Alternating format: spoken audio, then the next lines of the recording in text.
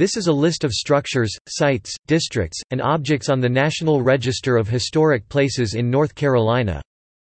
As of May 1, 2015, there are more than 2,900 properties and districts listed on the National Register of Historic Places in all 100 North Carolina counties, including 39 National Historic Landmarks, 2 National Historic Sites, 1 National Military Park, 1 National Memorial and 1 National Battlefield.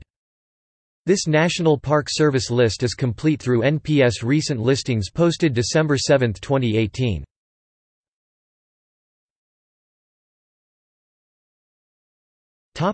Current listings by county The following are approximate tallies of current listings by county. These counts are based on entries in the National Register Information Database as of April 24, 2008 and new weekly listings posted since then on the National Register of Historic Places website. There are frequent additions to the listings and occasional delistings and the counts here are approximate and not official. The counts in this table exclude boundary increase and decrease listings which modify the area covered by an existing property or district and which carry a separate National Register reference number.